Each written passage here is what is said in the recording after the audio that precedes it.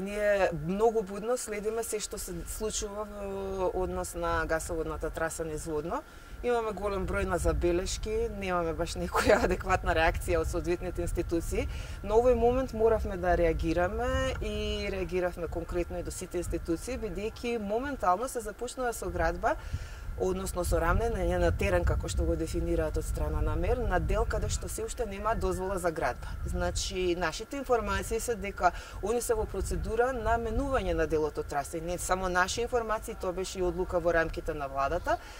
И таа процедура се уште не е завршена. Се додека не се заврши процедурата, не може да се започне со делување и узурпирање на простор кој што за кој што нема дозвола за градба.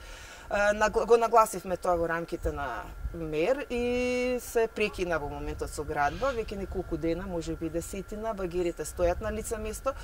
Повторно се во една иста ситуација како и минатиот пат кога започна на делот кај бункерите, каде што багерите ние инсистиравме да се тргнат додека не се разрешат некои моменти, но тие стоја и полека полека си ја продолжува градбата. Но во овој случај, бидејќи сметаме дека имаме ситуација во која што на вистина законски немаат право да менуваат ништо на теренот, ќе инсистираме не, не само да не се работи, туку да во најбрзо време овие багери се тргнат, се додека не се издействува добивање на адекватна дозвола за да го прават тоа што го прават. Иако уште повеќе ќе се бориме да таа дозвола не биде издадена.